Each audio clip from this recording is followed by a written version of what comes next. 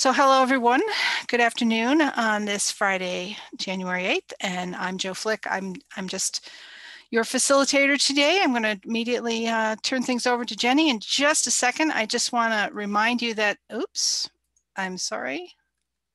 Let me get to the start of my screen. I totally screwed that up. Okay so all of these Webside chats are recorded and posted to our Vimeo channel. We have a special showcase just for the Webside chats and you can usually view the last, the most recent two or three of them. Um, and I do try to get them posted as quickly as possible after the chat because it's usually pretty newsy contemporary information. So, and we know that a lot of people do uh, tune in to watch them within a few days. So uh, anytime you have to miss the chat, just let just tune into our Vimeo channel. It's a good page to bookmark. Um, I wanted to point out that we have an awful lot of training coming up in the next um, few weeks. We're going to be starting up the Aspen Basics course in again in February. I, I don't have that scheduled yet, but watch for information on that. Uh, and those of you who may have attended sections of the Aspen Basics course. Last year we ran one, um, we ran it from, I think we started in June or July and it ran through the end of the year. We actually had to skip a couple months because we were making some changes in Aspen and we wanted you to have the most up-to-date information.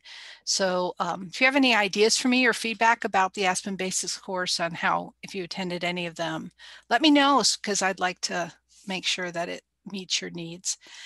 So we're also uh, ramping up some training that Trace, I see Tracy's online, so you can drop her a note if you have any questions about this. Um, and, and this is part of our um, equity, diversity, and inclusion training initiatives that we've undertaken with an um, IMLS grant that Tracy's overseeing. And this is working with several other of our neighboring states. So uh, there's going to be, Suzanne's running a series of these webinars. It's actually, each webinar is the same, but we, we scheduled it several times so we could accommodate all the people who wanted to attend. That's the We're All in This Together webinar. And then there's a two-part series called Unpacking Racial Literacy um, with a terrific presenter out of Seattle. And I'm um, pretty excited about this training that's coming up. So any questions about that, go to Tracy Amelia's got summer reading webinars starting up very soon. Um, of course, we're going to be talking a little bit about virtual summer reading activities. So, as we know, a lot of you um, kind of got stuck having to do virtual um, summer reading activities last year, and we're not sure how what's going to happen this year. So there'll be some chat about that. Um, I have planned a webinar next month with the Rural Institute at the University of Montana and they're going to be talking about all of their resources that they have. This is good information for librarians to know to how to refer a patron who um, maybe has a medical issue that they are encountering and suddenly need um, some adaptive equipment for a short-term period or uh, they the Rural Institute also has a number of terrific resources for young parents and I wanted to make sure you guys were all um, up to date on, on what they're doing. It's been a long time since we've done a webinar with them. So look for that. And then Amelia, being busy little bee that she is, is also uh, planning some economic development in libraries webinars and uh, and so you watch for that information and she's continuing to host um, COVID meetups every other week to provide updates because things certainly are changing on that front as well. So there's just a lot of training. I hope you'll um, check in the Aspen calendar and uh, and and get signed up for those. So today, Jennie, I'm going to turn it over to you. We're, we're at the start of another legislative session. Ah, boy, it is coming fast and furious. Let me tell you. Um, trying to adjust my, my camera so I don't look quite so shadows. I apologize for that today. Um, I have a number of things I want to talk about. And at one point in the last few days, someone asked for just a refresher on how to search for legislative bills. So I did want to spend just a little bit of time looking at the legislative website. We'll get to that in just a, a few minutes. But lot, lots of news to discuss um, just from this past week. And um, staff, some of this will be newsy information for you as well. I just haven't had a chance to get an email out to folks.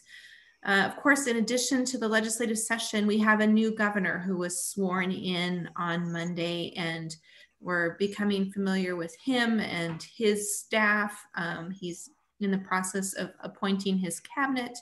Of course, we work very closely with state agencies, and so this is a, a, shift in their leadership and, and we'll be monitoring what kinds of shifts, shifts and priorities they have um, coming to know the, the new leadership of those agencies. Uh, I've had one conversation with Gianforte's new budget director, Kurt Almy, um, and was very impressed that he took the time to reach out on an issue pertaining to the state library's budget last week. So um, changes there, and and I know we're all anxiously watching to see what happens with this new administration from a different political party. Gianforte did announce his budget yesterday, and uh, the the changes that he's proposing from Governor Bullock's budget that came out last month with regard to the state library's budget are relatively minor, nothing too significant. Um, there's some personal services savings included there that weren't in Governor Bullock's budget, but nothing unusual at all. Um, um, some additional personal services money changes that really have no significance for us. The primary change that is included in Gianforte's budget pertains to what is in the budget to backfill some of the volatility in the coal severance tax fund. You all know that the state library receives coal severance tax funds that um, in large part is what we use to fund the federation dollars that you all receive. Um, it helps us to fund some of our statewide projects.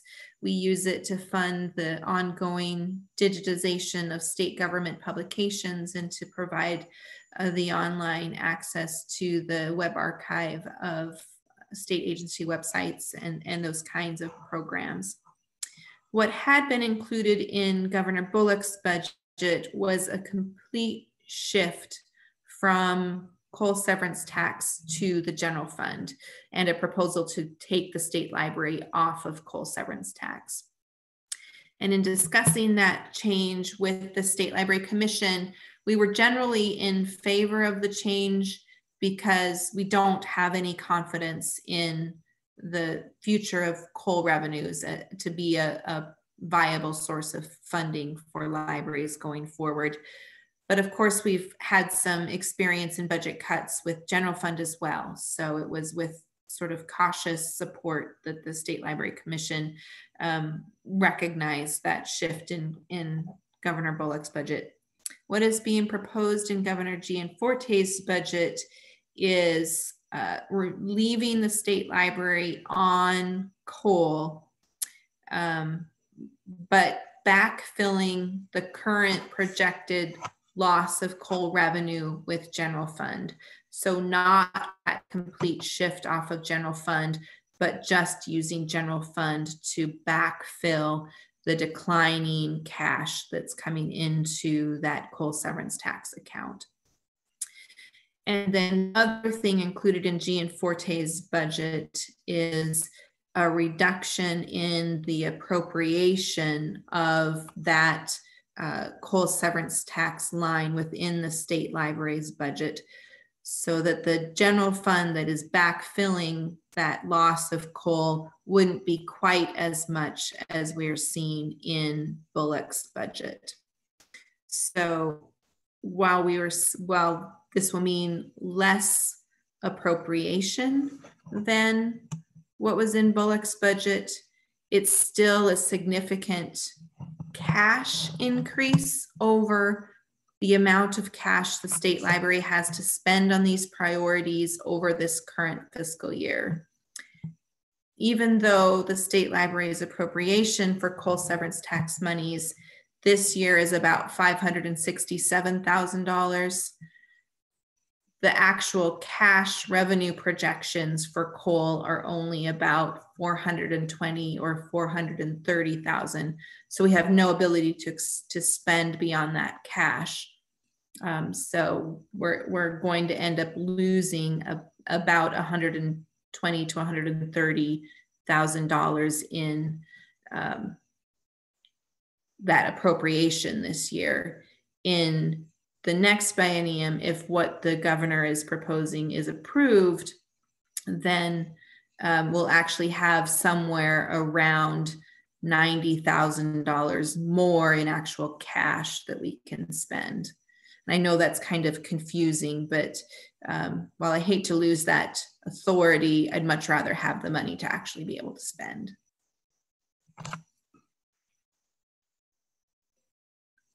Any questions about what we're seeing in Gianforte's budget?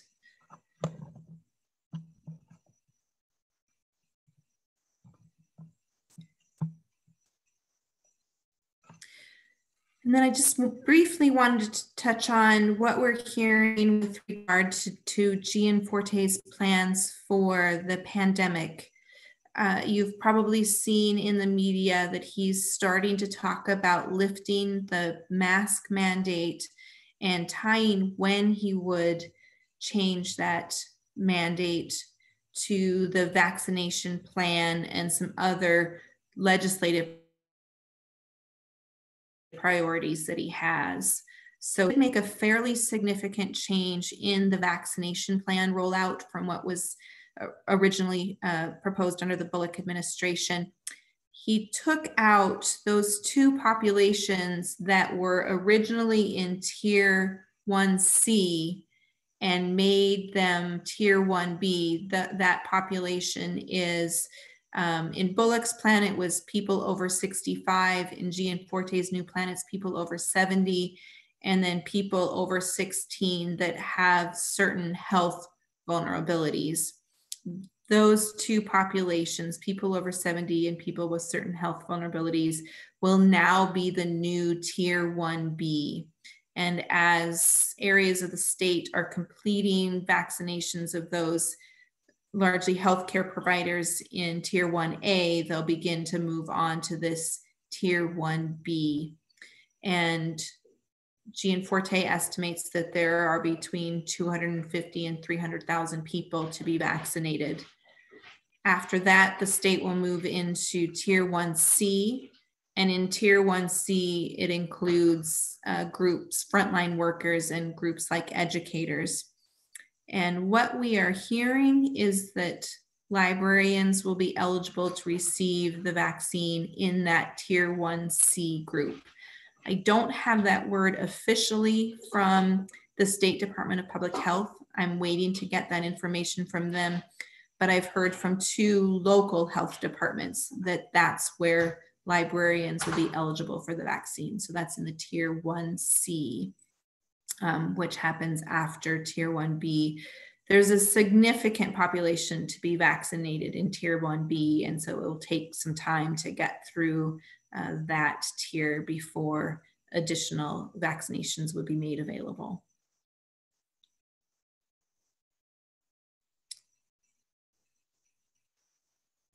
And just jumping in here, I mean, you're you're it's a chat, so you can get in and chat. You can either use the chat box to either make a comment, share some information that maybe you're hearing, and or you can, um, anytime Jennie takes a pause, you're just welcome to unmute your microphone and jump into the conversation. We're happy to to keep it um, casual.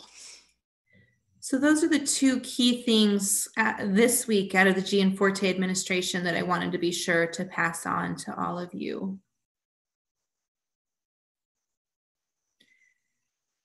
And then moving into the legislative session, first, I just really want to acknowledge and thank the great work of the MLA Government Affairs Committee, uh, especially Ann Eubank and Rachel Ron, who are chairing that committee. They're doing a great job of making sure that committee members are informed about how to search for bills. We're taking steps to make sure we're organized in tracking the bills, and we'll be taking efforts to make sure that we as a committee respond rapidly when necessary to provide information to legislators and Annette Gilbertson, the MLA lobbyist, on, on our views of um, legislation that's being considered.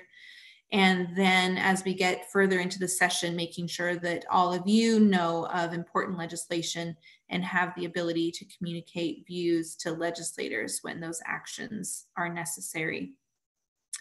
There are, as of yesterday, we'll look here in just a minute at how many more, but as of yesterday, 3,148 bill draft requests. So I don't think we topped 3,000 last session. So considerably more bill draft requests this session that we're monitoring.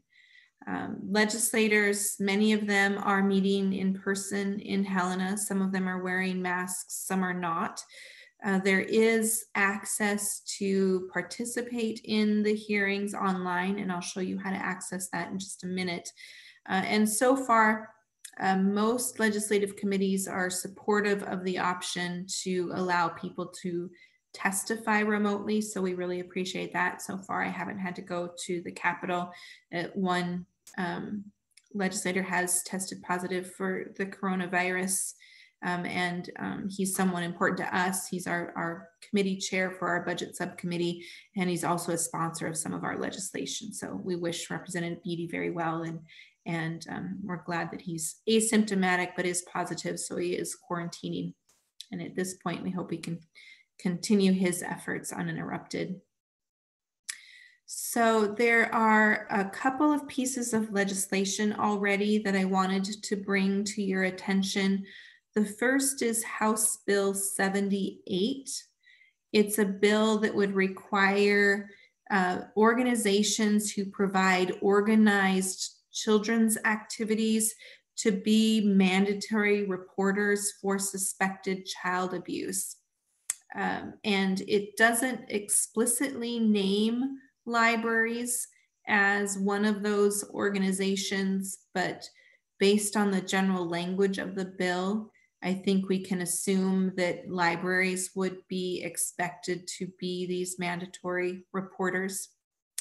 Um, so far, what we've heard is uh, not a lot of concern from librarians about having to be mandatory reporters, but I did want to bring that bill to your attention um, one question that was raised was whether or not the bill would violate library records confidentiality and that law.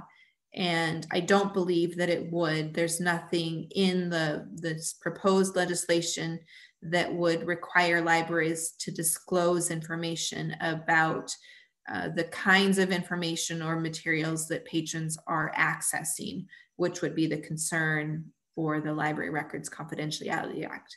Um, but that's a bill that we'll certainly be monitoring. The other bill, and, and Tracy, I need you to remind me of the bill draft number, is a bill that was introduced in 2015 that would put an automatic sunset on uh, voted levies for different services within local government. And MLA worked really hard with the sponsor, Greg Hertz, in 2015 to exempt libraries and library voted levies from that legislation. And I'm happy that as introduced, libraries are still exempt from what Representative Hertz is proposing so that's good news going forward. But we do anticipate that we'll have to defend why libraries should be exempted from that. And so that's a point that the Government Affairs Committee will be talking about.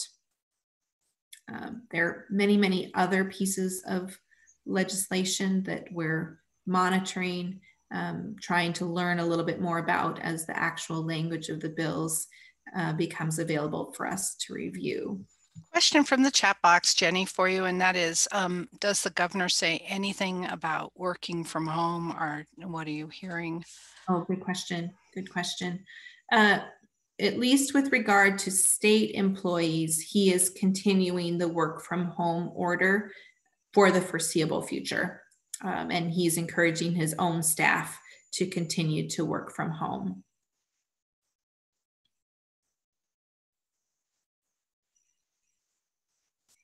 And thanks to Tracy for posting that um, mill levy bill in the chat box. I appreciate that.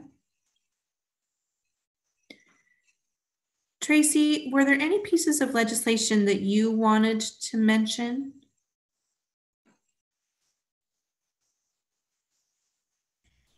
Yeah, um, one that I am watching, it's not yet been referred to committee, is about revising mill levy election laws, and it's House Bill 107. Um, and it would change the mill levy election laws from majority. So the county commission could uh, enact a mill levy if the majority of people voted yes for it. It would change it from that to two thirds. And so that is um, something that might be a bit of a challenge, not just for libraries, uh, actually for any district that might be running a mill levy or asking for additional mill levies. And so that is a bill that I am watching pretty closely. Yeah. I think that is it, Jennie, um, at this point. Four days in, five days in, right day five. So the state library's budget will be heard by the Education Budget Subcommittee on February 8th. Uh, that's a, a Monday, Monday morning. And we'll start thinking about what we want that hearing to look like and working with the MLA Government Affairs Committee to talk about uh, what librarians we might ask to testify in support of the state library budget. Um, overall, I think we're in a pretty good position right now. I'm not hearing uh, too many causes for concern. I'm going to be talking extensively about the essential services that we provide, some of the conversations that we've been having for the last many months, um, trying to shift the argument from whether or not libraries are essential to the essential nature of the services we provide and examples of what those services mean for individuals in our communities and starting to shape my budget testimony uh, around those kinds of talking points.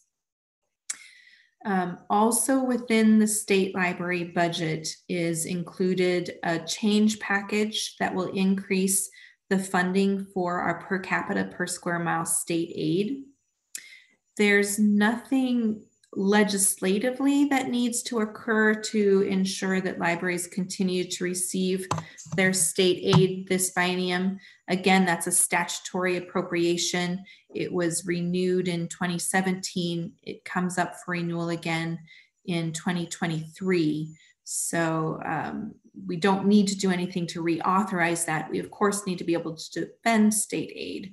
And so I really encourage all of you to think about how you use your state aid funds, what impact that has for your patrons, and be able to talk about some of those kinds of examples with your board and with your legislators so they know how important that funding is to your library.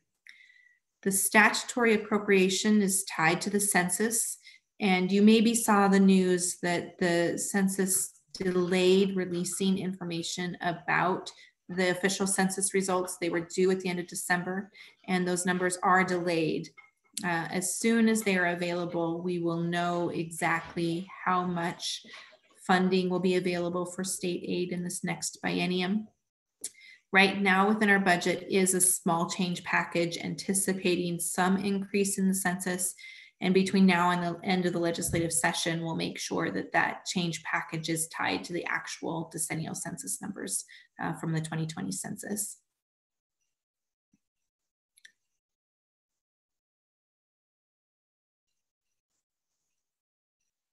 I know there's a question from Kelly about changes with schools. Are you are you specifically referring to um, the pandemic?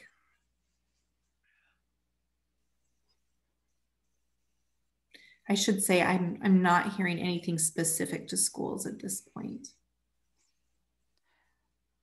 question is had have um, our libraries setting policy, particularly around the pandemic, to support the school's efforts to flatten the curve. So we'll wait for her to come back with. Yeah. So I'd love there's love to know more else. about what your, what your, um, what kinds of policies you're setting. And then from um, Heather in Rosebud um, County, I just used state aid to purchase air purifiers to improve air quality in library spaces. Not sexy, but critical. Absolutely.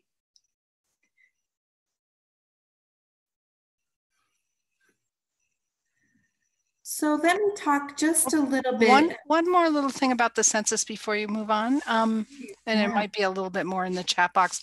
This is from Jennifer um, Dash. They had to cut the census short, right? I was wondering why they can't get look at property records and at least count one person per property.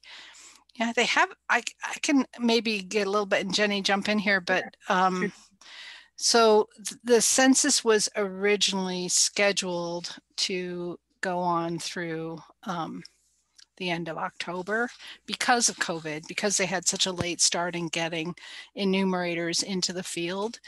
Um, and that that was cut short by the administration federal at the federal level and um, and it went through some there's probably going to be litigation because the census bureau does have um, processes that they use. They use different kinds of administrative records um, to kind of fill in gaps and holes that they can identify. I mean, they've been doing this for hundreds of years, so they they know when they've got the numbers wrong. They can they can tell, and they and the Census Bureau does lots of stuff in the ten years between the um, the official federal census that that apportionment and um, and and how money is sent out from the federal government is determined.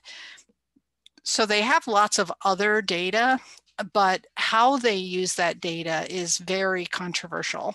And um, everybody wants to have a say in how that data is used and how those numbers are arrived at. So it just, we don't know enough about it yet is my take on it. Do you have anything else you want to add to that? Jennie, you're, you, you, um, you get some information from the federal level that I don't see, so. Yeah, so, um, you know, as Joe said, litigation over the process and, and the fact that it was cut short. Also litigation about whether or not to count undocumented people. The census is supposed to count everyone. And there's been some litigation from the presidential administration to block counting people who are undocumented. And so I think that's one of the things that's delaying the release of the current numbers um, you know, it, it by constitution, we have to count everyone. So, you know, that that is the effort, as Joe said, that has been followed for hundreds of years. There are certainly other ways to count people, um, different kinds of statistical surveys that are used between the decennial census, but um, by constitution, we have to attempt to account, account for every single individual. Um, and then, um, as Joe was describing, um, according to, to federal law, um, despite the fact that we are counting everyone, individuals, nothing about how the data is disclosed is allowed to uh, identify individual persons. Uh, and that stems from back in World War II when census data was used to identify people of Japanese heritage to round them up and, and put them into internment camps. Um, since that time, it's been um, illegal to use that information to identify individuals, and uh, that people go to great lengths to protect that kind of information. Um, given the demographic nature of this the census data that's collected in some of our very rural areas, especially when um, we're collecting information about people of color and, and minorities, we might be able to identify certain individuals looking at that data at a granular enough level. So the census fuzzes that data um, to prevent people from being able to be uniquely identified. Uh, and that's a process that has occurred um, for many decades through the census process. It's being, that process is being changed now. How they are working at fuzzing that information will be changed. And it'll be changed in such a way that it strips population numbers from our most rural areas. And people are very concerned about what that means because uh, we all know we, re- we rely on those census dollars to fund services. Um, $2,000 per individual per year in Montana. Uh, we need to be able to rely on those dollars. Uh, as you all know, our, our library state aid um, is partially tied to a per capita count um, down to the county level according to administrative rule. And we need to know that we can confidently rely on those census counts down to that uh, community level to be able to adequately award state aid. So that's something that is of concern um, across the country, and officials across the country are working to change course to uh, redirect the census back to their historic practices. In the meantime, we're trying to understand what this means for state aid and, and what we might do about it if, in fact, we don't have confidence with census data down to that local level. And the good news, but the good news is that it does look like Montana has um, the Montana census numbers will support the addition of an of one more representative in the House. And so we'll hear more about that in the upcoming months. And then the por- the apportionment um, process, the process of redrawing all of our um, all of our lines for our representatives in state government and and drawing that line across Montana for the two um, the two House seats. That process will begin uh, later, and it, originally I think it was scheduled to start up in April, but it may be later now because of the of the what's going on at the federal level. And I do know that the um, the office that we worked with the, at the state level to get information out about the census and to try to improve self reporting all of you libraries who are involved with the census champions um, activity that we've done over the last year that there that there's a lot of interest in having libraries be engaged in helping with the apportionment committee which is a bipartisan group that draws draws those lines according to state law but they need to get public input and so we might be hearing more about that. We haven't i mean we'll see when we when the time comes.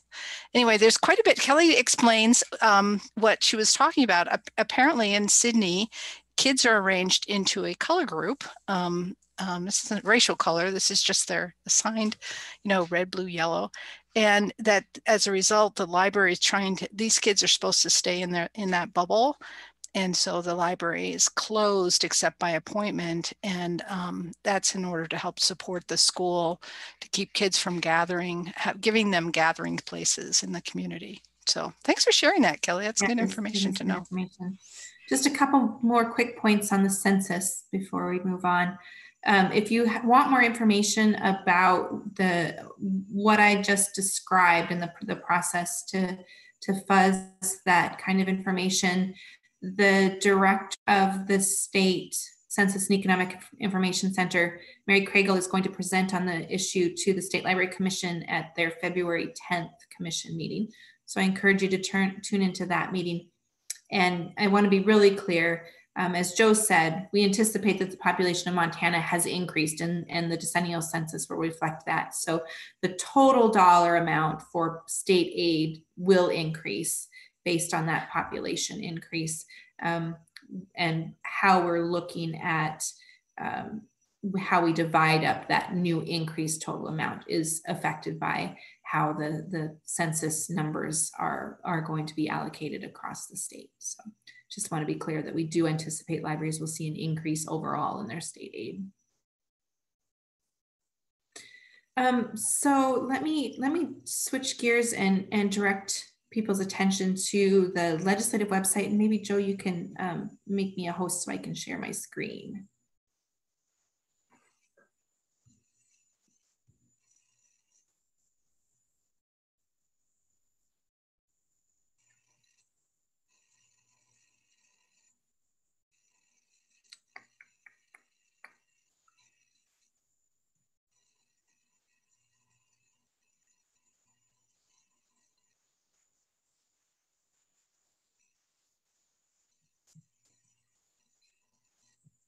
Joe, I'm not sure if I didn't see a pop up.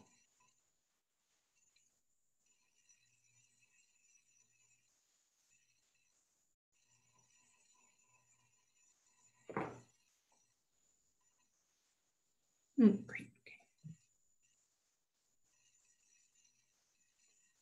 Excellent.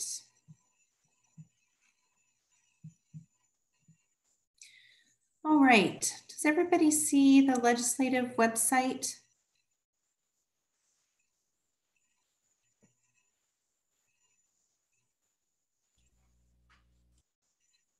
I am at leg.mt.gov. And the first thing I want to bring your attention to is this option in the middle where you can select if you want to provide testimony at a legislative hearing.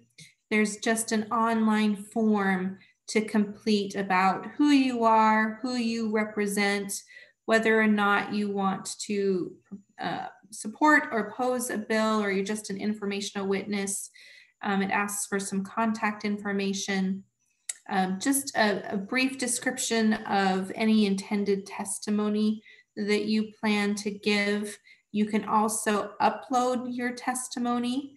Uh, so if you have written testimony, you can share that. That can be useful, especially if they're having technical difficulties with the hearing. Legislators will still have an opportunity to get your testimony in written form and then you you can select whether or not you want to testify via zoom you'll get an email confirmation that they've received your request and then you'll receive uh, login information for the the zoom login for that hearing there is a window of time when you need to request access to participate um, and that window is no less than noon the day before a hearing but no more than three days before the hearing.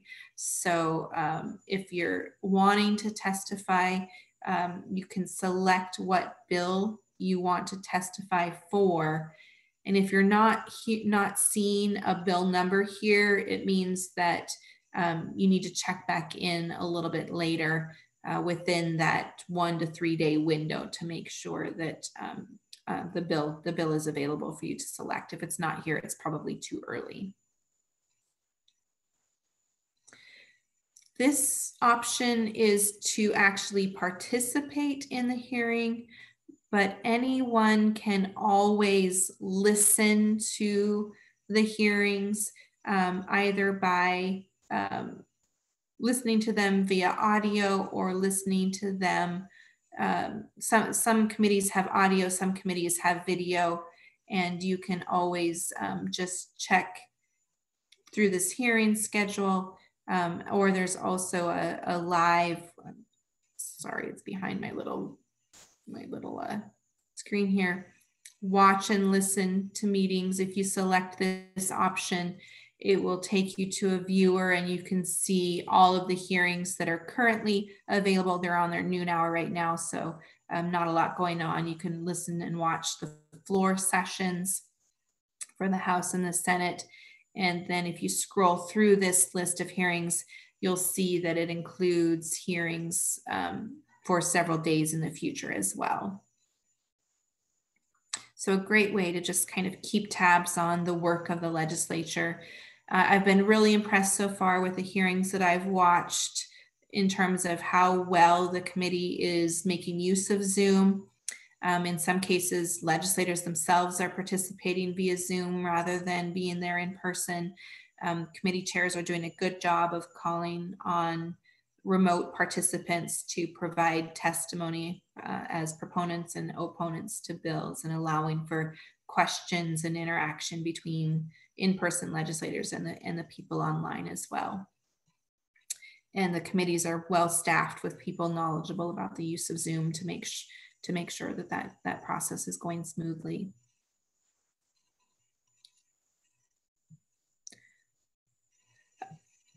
I also wanted to draw your attention to the legislator lookup information. Um, you can search by an address. If you don't know who the legislator is that you're looking for, you can enter your address and find out who your legislators are. Or you can um, search by the roster and search by a legislator's name. And then most legislators will have information about how to contact them, their email address and telephone number. So uh, I very much encourage you to get used to emailing um, or picking up the phone and calling a legislator and telling them who you are and what position you're taking on a bill. I'm going to come back to the home page here.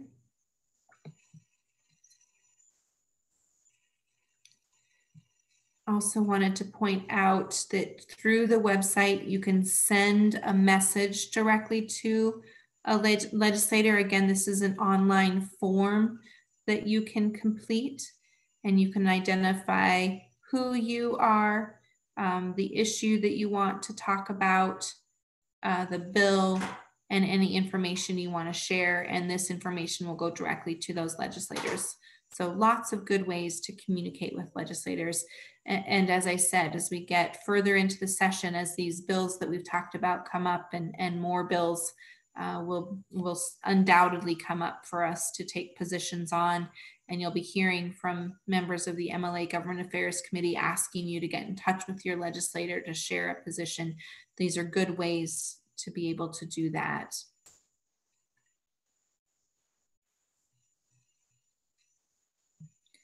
I'm going to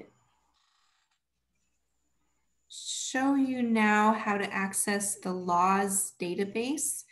And if you've been around for any previous sessions and have paid attention to bills, this will look very familiar to you because it's the same database system that, that they've had in place for several years now.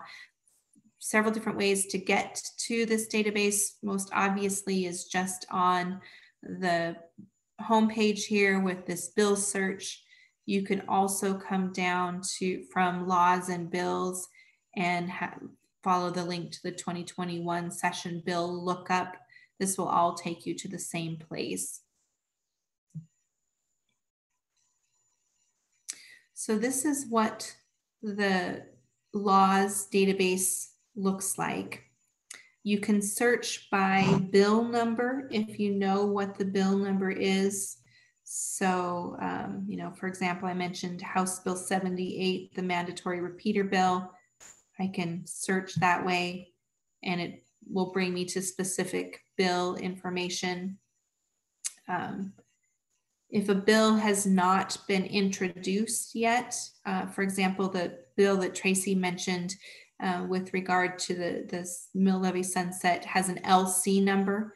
LC stands for Legislative Council. It means the bill hasn't been introduced, but you can still search by that bill number, that LC number, and it'll bring you to the same information about a bill, even if it hasn't been introduced. One of the things I do on a daily basis right now is come down to this list all introduced and unintroduced bills and just look at what those bills are. Uh, I mentioned yesterday when I looked at bills that there were 3,148 bill drafts. I'm just going to scroll all the way down to the bottom. Sorry, I'm on a tablet, so this is going to take just a little while. Oh boy, is it going to take a long time. There we go. So 3,159. So 11 new bill drafts since yesterday. Uh, what, what I like to do is just look at the short title of these bills. They don't provide you with a lot of information um, but provide some general information. Sorry, I'm trying to move some things around about what will be contained in that legislation. Um, the title of the bill, the short title of the bill, is very important because um, what is actually then proposed in the language of the bill has to directly tie to the short title of the bill. Um, so uh, when you see something that says generally revise a law, um, it, it, it gives a, a, legislator great discretion to provide broad language changes. Um, So those are ones where we will always want to look at the language of the bill um, versus a, a, very specific title like an appointee for the commissioner of the, the Department of Labor. We know that that's going to be the, the legislation to appoint Governor Gianforte's uh, director for Department of Labor and so forth. What I like to do is come into this page and do um, just to find on the page a control F and look for search terms that are of importance to me. So I'll always come in and just look for, I usually limit it to library, library, and, and that will bring back library and libraries and see if there's any uh, new bill drafts that pertain to libraries specifically. You can see the first draft uh, that's brought back is one of our funding bills for the state library. And then I'm going to come down to the second one, and it's um, this generally revised laws related to libraries from Senator Pomnichowski. Um, Senator Pomnichowski always includes this kind of placeholder bill, and you can see that the draft is on hold. So she hasn't introduced any actual language, but what she's done is created a placeholder and she does this every session. Um, and the reason she does that is that if she sees the potential for negative legislative changes to impact libraries, she has a, a, placeholder bill that can be used to introduce language that would protect libraries. So this is a, a placeholder mechanism that, that she uses to protect the interests of libraries. Um, and if nothing comes up that she's concerned about, this bill draft will just go away and nothing will come of it. Wanted to just take a quick moment and show you um, what it looks like to look at the information on a bill page. And I'm going to use this 911 funding for the state library bill if you just select the, the link to the bill itself, um, there's some good useful information here.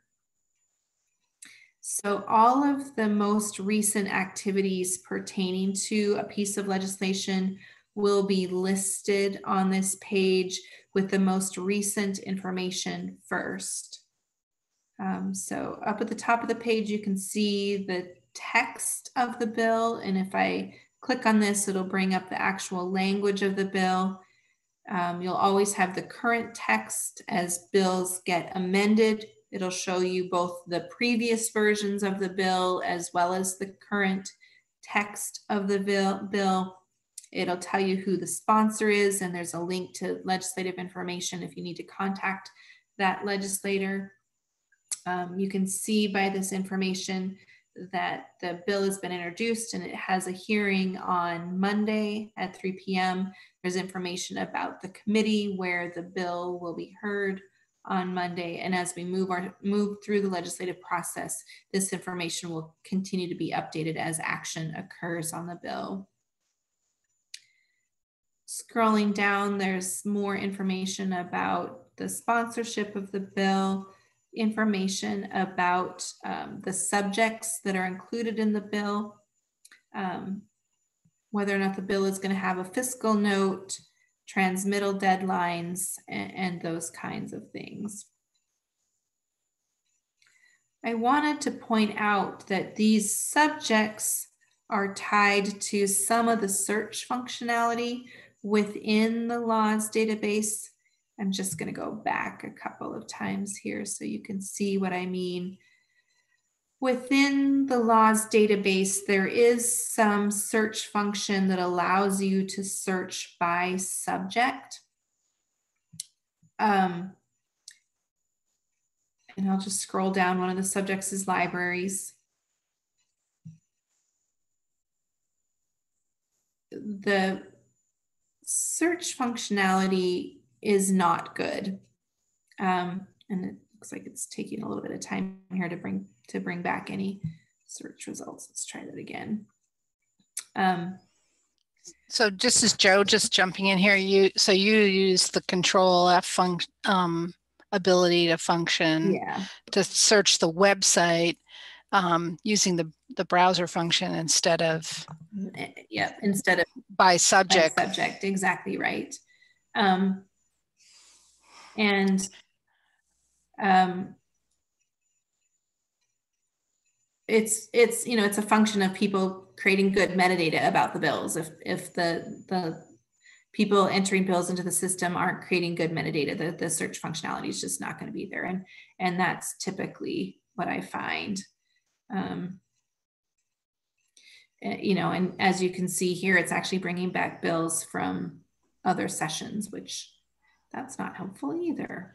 They need more librarians on their staff. Create good metadata.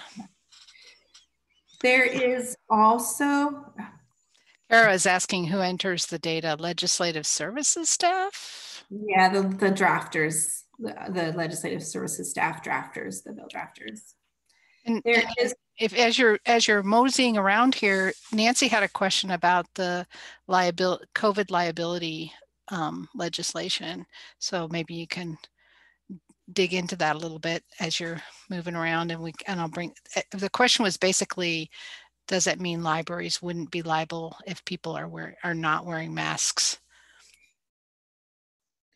let me, I'll get to that question in just a second. I'm just gonna show you one more search option, and that's this search text of bills using keywords. Um, it's also not working.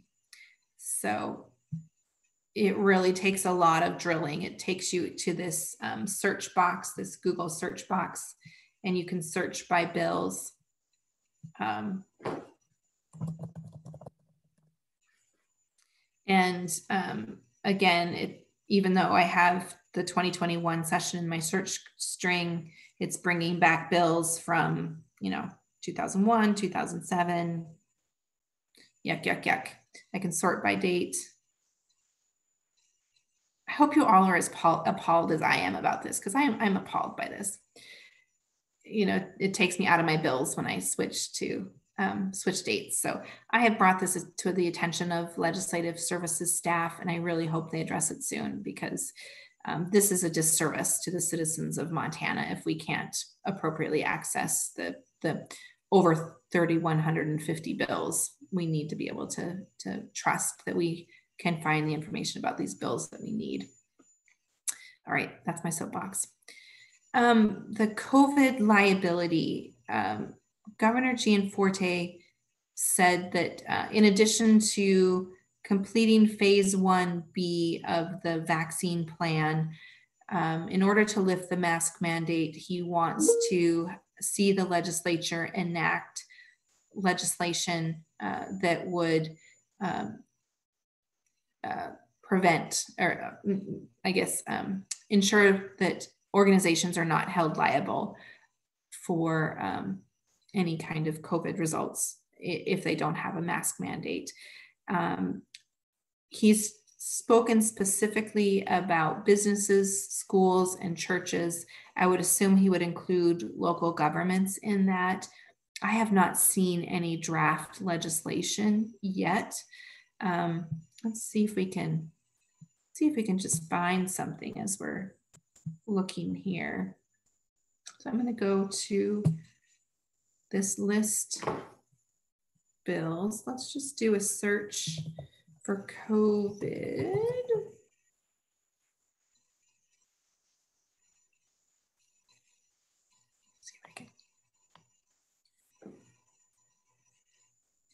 Got too many screens open.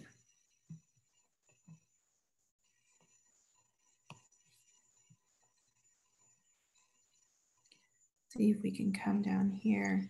Jump in here with Heather's comment. If librarians were in charge, all would be right in the world. I 100% believe that. that's- Amen. That's from from Heather, but I think we all agree. Yeah. So just looking here, there's four bills with COVID in the title. One looks like it's pertaining to education laws, um, teacher retirement. Let's keep going down here, see what we can find. Workers' compensation for COVID. That might impact libraries who staff um, Yeah. gets sick at work or feel like they or um, believe they were they got sick at work. Mhm. So here's one, so study commission to review COVID-19 statute and rules suspensions. That would be one to potentially keep our eye on uh, that might have to do with um, organizational liability. So let's try Corona. How, how do I spell Corona? C O R O N A. Nothing related to coronavirus. So right now, there's only those four pieces of legislation, at least from the short title, that have that have to do with the pandemic. Um, there, there's always a chance that um, one of these other um, bill drafts could contain legislation. Let's see if we can find this one. Pandemic Homeschool Relief Act. So I, my suggestion would be that we continue to come in and, and keep searching in this way for legislation that's related to the pandemic. Um, and then as we see language pop up, we'll be able to look at it and have a better sense of, of what kind of immunity it might give to organizations. We were at the top of the hour, and um, I did notice a couple people had have, have left, but um, this was uh, this was a good review, and um, the the new um, the new face they have for legislative, you know, the, the the new website look is very cool. But basically, once you get into the guts, it's the same old um, laws database. So that should be pretty familiar to everyone. Yeah. Yeah.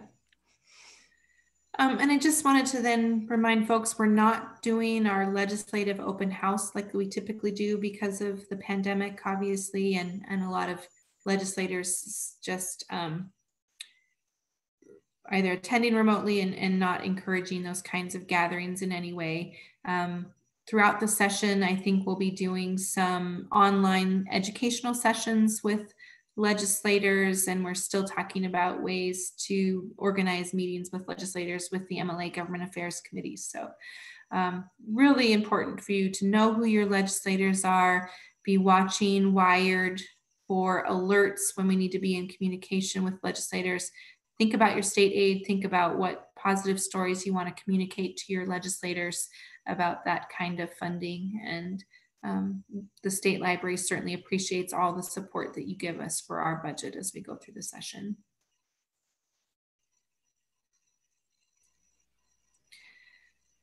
All right. Well, with that, I, unless you have anything else, Jennie, I'll go ahead and stop our recording. We will stay on the line if um, you're if you're here and have some other questions or um, want to chat about something. Um, but anything else, Jennie, or are we ready to stop the I think we're ready to stop. Okay, so thanks for tuning in. And if you are watching the recording, be sure to claim your credit um, in Aspen.